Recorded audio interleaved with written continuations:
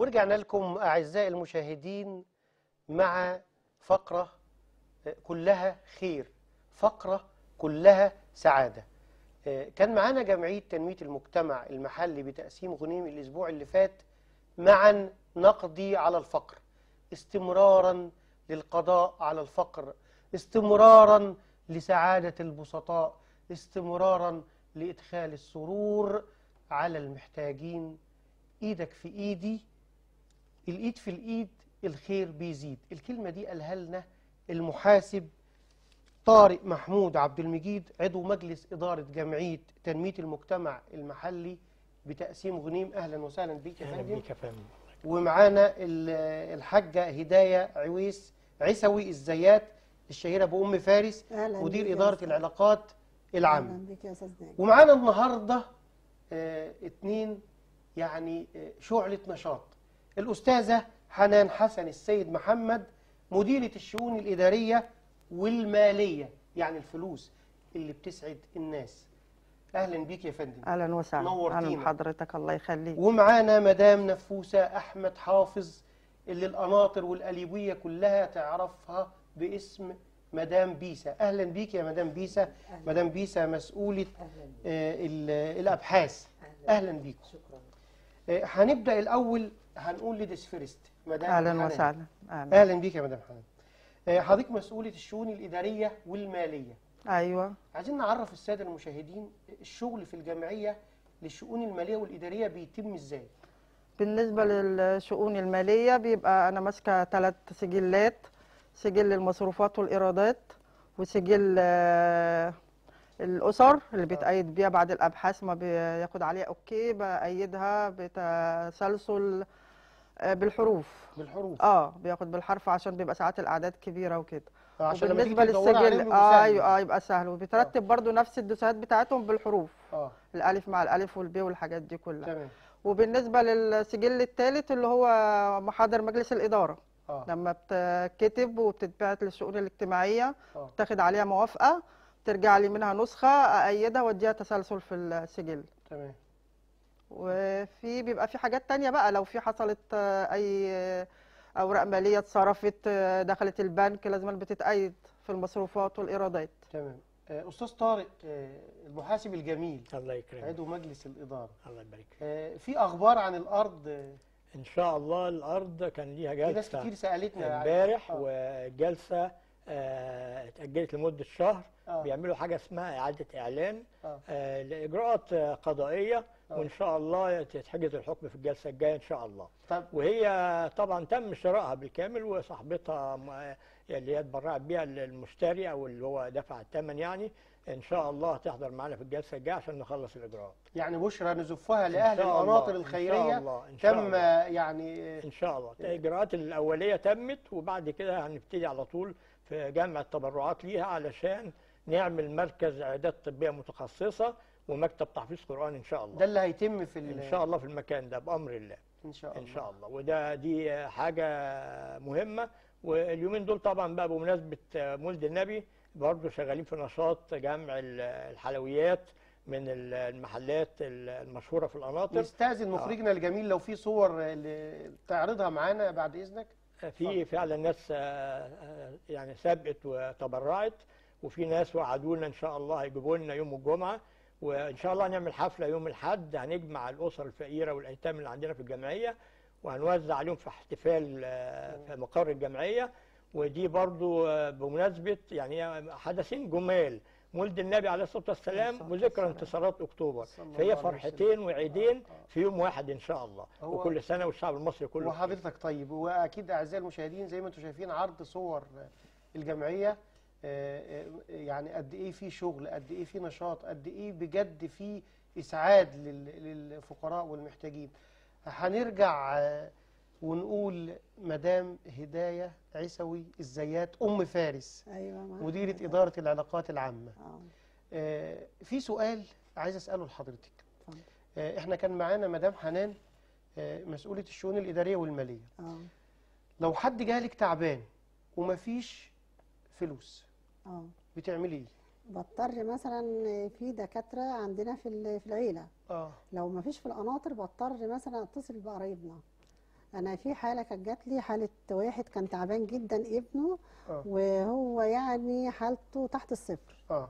يعني شوفوا ال- الراجل ده تقول عليه إن هو كويس جدا. آه. وسبحان الله يعني تحسبهم أغنياء من التعفف هو ده فعلا ينطبق على الراجل ده. تمام. فقال لي أنا عايز الواد ده عايز عملية هتتكلف كتير جدا وأنا غير قادر. آه. قلت له لا خلاص تعالى. فاتصلت فعلا بدكتور آه، سيلفي بنتي اسمه الدكتور ياسر دكتور أسنان. مم. دكتور ياسر صبحي جعفر. فاتصلت عليه. بصراحة لبى الطلب بتاعي وراح فعلا عمل له عملية واستأصل له الضرس بدون مقابل خالص وفعلا بقيت فرحانة جدا. الدكتور عمل عملية ما خدش؟ آه لا لا لا لا خالص ما خدش منه الدكتور حاجة. ياسر؟ آه ياسر صبحي جعفر. آه، عمل له العملية واستأصل له الضرس من مكاننا هذا بنقدم آه، كل التحية والتقدير. يعني للدكتور ياسر إيه؟ آه صبحي جعفر. ياسر صبحي جعفر آه. كل التحيه لحضرتك. ففعلا ما ردهوش خالص. فحقيقي أبوه بقى فرحان جدا بالولد إنه خلاص ابنه ما حسش بحاجة. حقيقي يعني دكتور شاطر جدا. آه. فأنا كنت خايفة على الولد يعني فعلا عملية كبيرة. وكانت هتكلف مبلغ كبير. وهو أصلا ما حاجة. فسبحان الله عمل له العملية ربنا يجعلكم في الخير. راجع فرحان جدا وباباه جالي وشكرني هو والولد. فبقول له الولد طبعا عامل إيه؟ قال الحمد لله زي الفل. طب خد منك حاجة؟ قال لا ما خدش مني أي حاجة. ربنا يجازيه خير. كل خير. هنروح لمدام بيسة اللي هي تقريبا آه، آه، النقطة الأولى آه، في بداية آه، البحث صح؟ حضرتك مسؤولة أبحاث. آه، الموضوع بيتم إزاي؟ الموضوع آه. بلاقي الحالات بتحتاج ببلغ رئيس الإدارة وأقول له إن الحاله بتستحق فبالتالي على كده بيبقى فيه فلوس داخلة آه. فبيضطر إن هو يديني مبلغ وبيشوف الدكتور عايز كام وبيبعتني نعمل العملية أو نساعده باي شيء تمام. حالات بتيجي مش محتاجة وببقى بحث جامد عليها ما بينفعش يبقى خلاص الإدارة بترفض تمام. آه، يقول رسول الله صلى الله عليه وسلم أحب آه، آه، أي الناس في في حد راح للرسول صلى الله عليه وسلم؟ قال له يا رسول الله. أي الناس أحب إلى الله عز وجل؟ قال رسولنا ال- الكريم صلى الله عليه وسلم. أحب الناس إلى الله أنفعهم للناس. وأحب الأعمال إلى الناس سرور تدخل تدخله على مسلم أو تكشف عنه كربة أو ضيق. صلى الله عليه عليه وسلم. الصلاة والسلام أستاذ طارق آه، نفسك في إيه؟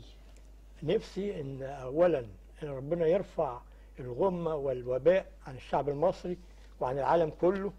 وإحنا الحمد لله في الجمعية بنحاول وبنساعد مع الدولة بإن إحنا بنعالج مرضى الكورونا مجانا تحاليل وأشعة وعلاج على الهواء مباشرة حتى من غير ما يجي لنا ممكن يتصل بالتليفون. حالة تعبانة محتاجة أنبوبة أكسجين. نوصلها له لغاية البيت. محتاج ماسك منظم جهاز قياس اكسجين مستشفى. نتصل له بوزارة الصحة. قدامكم الأرقام التواصل معانا لأي فورا. حالة محتاجة إحنا معانا. فورا لا يعني في أي ساعة من الليل أو النهار. بنتصل بطارق وزارة الصحة وبيتعاونوا معانا. بنتصل بالدكاترة اللي موجودة في القناطر الدكتور ممدوح سراج الدكتور صفوت حجازي الدكتور محمد هيكل الدكتور مصطفى الشرقاوي الدكتور رجب فتحي جميع الأطباء الدكتور عبد الرحمن جعفر كلهم بلا استثناء الدكتور عمرو جمال الدكتور أحمد سعيد مجموعة من هايله من الجيش الأبيض الدكتور أشرف الصياح آه، رئيس لجنة آه، قوائم الانتظار في الهيئة العامة للتأمين الصحي راجل في منصب عالي جدا يرد عليا في أي لحظة من ليل أو نهار.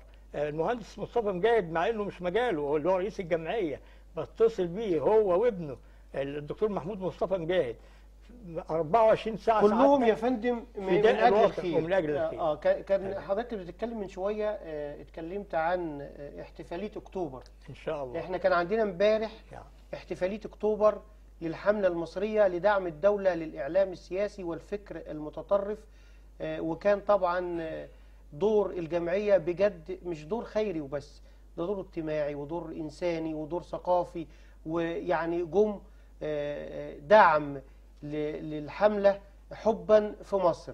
مخرجنا الجميل كان في صور لو جاهز بيها معانا صور ولا لسه شوية؟ مخرجنا الجميل. طيب هيجهز الصور؟ سعادتك في كلمة كنا معانا الصور عايز- ال- آه ما إحنا هنقولها النصر. عايزين نشوف الصور بس عشان طيب. نعرف نتكلم عليها. معانا كده الصور؟ طيب تمام. أنا مش شايف الصور ممكن تنزل على البلازما؟ آه على ما تنزل الصور هي لو آه نزلت هنا إحنا مش شايفين. آه هنشوفها. مدام آه حنان. أهلا. الشؤون المالية والإدارية. أهلا. آه آه، في سر هقوله للمشاهدين. آه، آه، دايما آه، يعني الراجل لما بيروح شغله بيرجع ساعتين ثلاثة البيت ساعات يعني بيتخانق مع مراته. طب أنا عايز أقول حاجة بقى. مدام حنان. زوجة الأستاذ طارق اللي قاعدة معاه في الشغل وفي وفي البيت. يعني دي حقيقة. آه طب هنتكلم عن الصور الأول وبعدين نرجع لكم. آه، الصور دي آه، في جنينة أبو عمار في القناطر ال- الخيرية. كان احتفالية بمناسبة الحملة المصرية لدعم الدولة للإعلام السياسي آه، كانت مشاركة من رجل الدين آه، الأزهر والكنيسة ورجال آه، الحب وأبطال اللي شاركوا في أكتوبر أبطالنا اللي شاركوا في أكتوبر كانوا حاضرين. أصلا الحفلة دي معمولة تكريما ليهم وكانت جمعية تنمية المجتمع جت كلها كلهم جم بصراحة آه، يعني فرحا وابتهاجا لنصر أكتوبر. آه، زي ما أنتم شايفين آه، كل دول هيئة مكتب ال- الحملة المصرية آه، والأعضاء ورؤساء اللجان ورئيس الحملة المصرية. أنا مش عايز أقول اسم معين عشان محدش يزعل مني. يعني أنا لو قلت اسمه ممكن أنسى اسم تاني. هنتوقف عند الصورة دي شوية. آه، دي عائلة الأستاذ محمود وهيب. الذي اكن له كل تقدير واحترام وعائلتي أنا ناجي الخطيب في صورة بعدها آه، بس عند الصورة دي آه، الصورة دي فيها آه، البنت الصغيرة دي اللي اسمها جنى اللي عيد ميلادها بكرة وبقول لها كل وانت سنة. وهي طيبة. يا جنى عيد ميلاد سعيد ودايما يا رب تكون. السعادة للأمة كلها ودايما. نكون في سعادة نرجع لحبايبنا اللي منورينا في الله الاستوديو يخليك آه، آه، هنرجع تاني. آه، الكاميرا هتروح عند مدام حنان. آه، زي ما قلنا آه، انت ملازماه في البيت وفي الشغل. ليه؟ أيوه. حب ده ولا إيه؟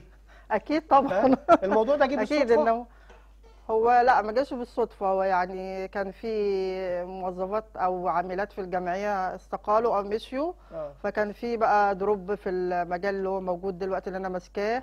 فهو يعني طلب مني إن أنا آجي وأمسك ال ال الإدارة دي بتاعة الشؤون المالية والإدارية سعيدة بشغلك أكيد طبعا أكيد. أكيد آه عمل الخير ممتع. وخير جميل جدا الواحد بيتمنى إن ما يبقاش فيه أسر فقيرة آه. ينتهي كلمة فقر دي ما تبقاش موجودة زي ما الرئيس السيسي كده أمنياته إن هو يقضي على العشوائيات ما يبقاش فيه عشوائيات في مصر آه. أنا أمنيتي برضو إن ما يبقاش اسم أسرة فقيرة ما يبقاش فيه فقر جدا آه، خالص في مصر من خلال من, من خلال التبرعات اللي بتيجي من أهل الخير ورجال الأعمال إحنا بنناشد وكل اللي يقدر على حاجة يعمل بنناشد أهل الخير ورجال مم. الأعمال آه، إن هم يقفوا مع كل حد محتاج عن طريق جمعية أيوة. تنمية المجتمع وعن طريق أي جمعية آه، بتهدف تقدم خير آه. للخير مم. هننتقل لمديرة إدارة العلاقات العامة بجد أنا عرفتها من فترة قريبة ولكن هي شعلة من النشاط بصدق حد آه، حابب للخير.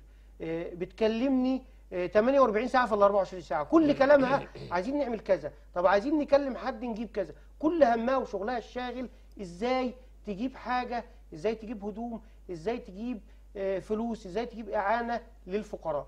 بس آه، آه، عايزين نعرف آه، أنتوا كل الهدوم اللي بتجيبوها قديمة ما فيش هدوم جديدة لل والله أنا أتمنى من أهل الخير يجيبوا ملابس جديدة للأطفال آه يعني إحنا العيد كل آه. واحدة ساعة آه، المرتب الشهري وهم جايين آه. فنفسي بدل ما ياخدوا هدوم مستعملة نديهم جديد يا ريت أي مصنع أي محل من المحلات الكبيرة يجيبوا لنا ملابس جديدة داخلين على فصل الشتاء فعايزين كل واحد ممكن نديله طقم على الأقل خالص كل اسره نديها طقم أو طقمين جديد.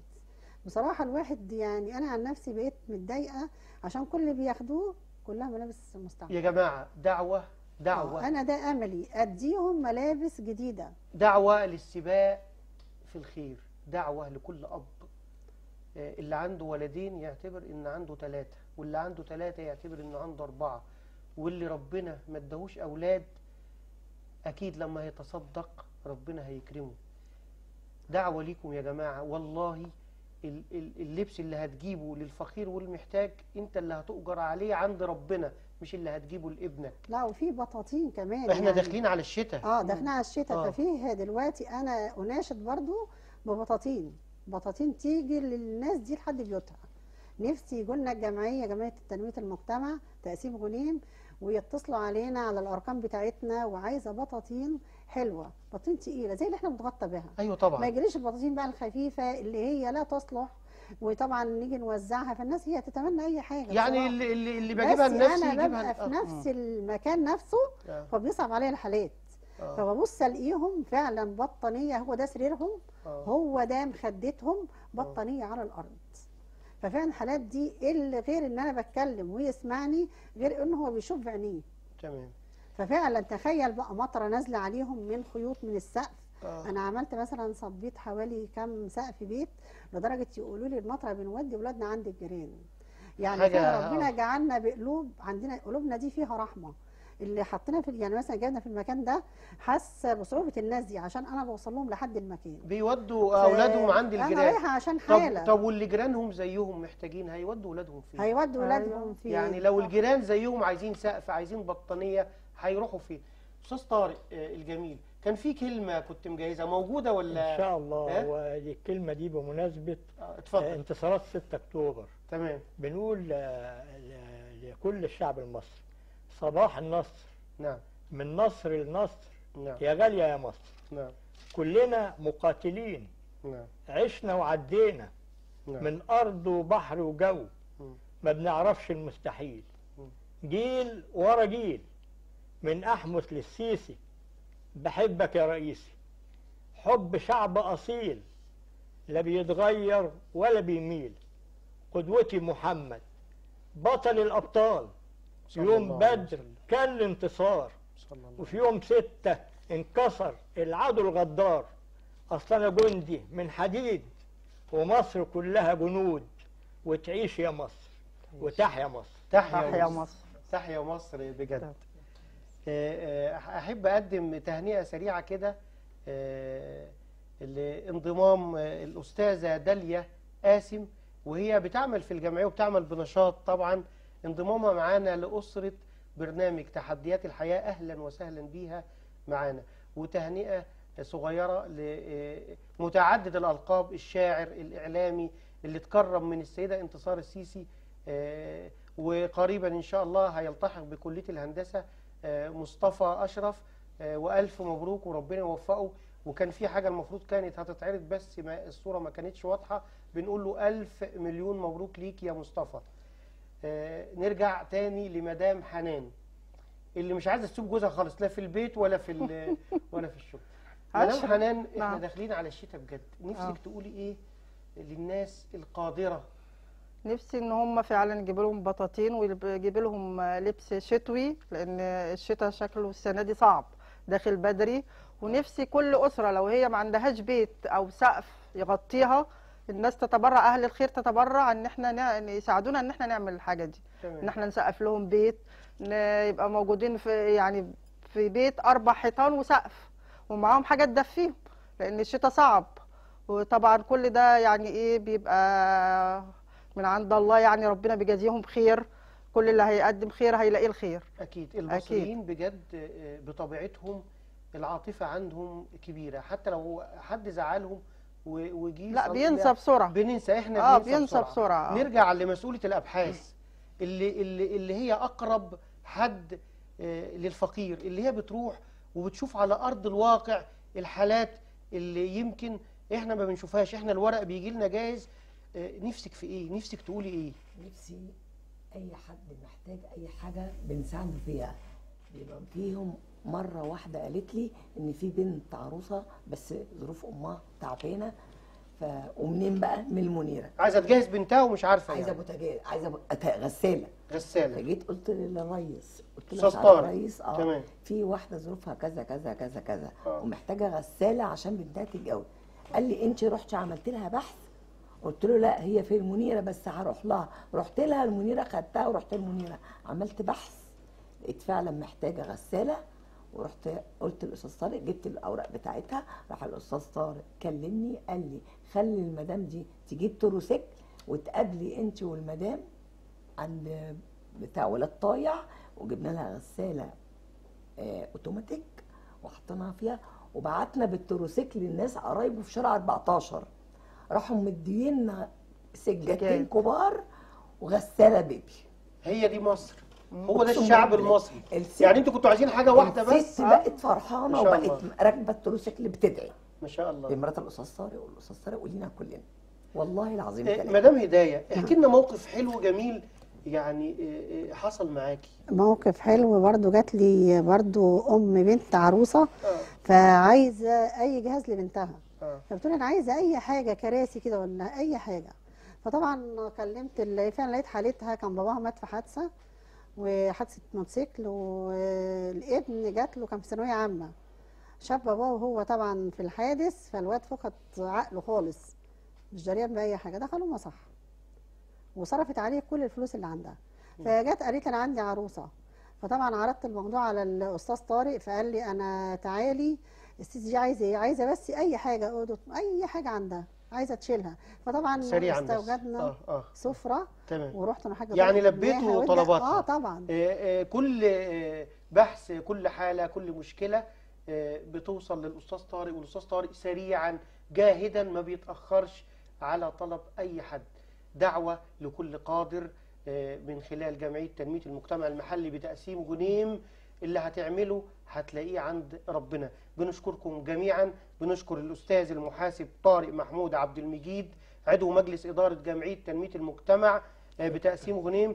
بنشكر آه، الأستاذة حنان السيد محمد مديرة الشؤون الإدارية والمالية. وبنشكر الأستاذة هداية عيسى الزيات أم فارس. في حالة وب- بعد إذن وبنشكر حضرتك الأستاذة نفوسة آه. أحمد حافظ وقتنا آه، آه، خلص الشهيرة ببيسة. معلش وقتنا خلص. في وقت يا مخرج يا جميل؟ الدكتور نصيف في حالة دلوقتي في المستشفى هيحولها. آه في حالة الدكتور نصيف بن شموع هيحول هيحولها حالة. هيحول آه، حاله قال الله تعالى لن تنالوا البر حتى تنفقوا مما تحبون. تحبون. فإن الله به عليم. لن تنالوا البر حتى تنفقوا مما تحبون وما تنفقون من شيء فإن الله به عليم. صدق الله العظيم. آه، أعزائي المشاهدين وكده انتهت حلقتنا. نشوفكم الأسبوع اللي جاي على خير إن شاء الله. السلام عليكم.